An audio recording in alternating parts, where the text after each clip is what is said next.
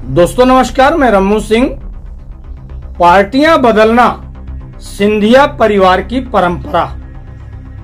आज़ादी के बाद सिंधिया परिवार ने कांग्रेस का दामन थामा और छोड़ा। ज्योतिरादित्य सिंधिया की दादी माधवराव सिंधिया की माँ विजया राजे सिंधिया ने भी उन्नीस सौ सड़सठ में कांग्रेस को छोड़ जनसंघ का दामन थाम लिया था। 1972 में विधायक बनने के बाद माधवराव सिंधिया ने जनसंघ को छोड़ दिया था।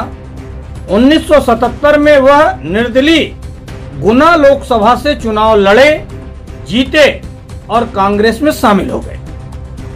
ज्योतिरादित्य सिंधिया ने भी कांग्रेस से राजनीति शुरू की, केंद्रीय मंत्री बने फिर भाजपा का दामन थाम लिया।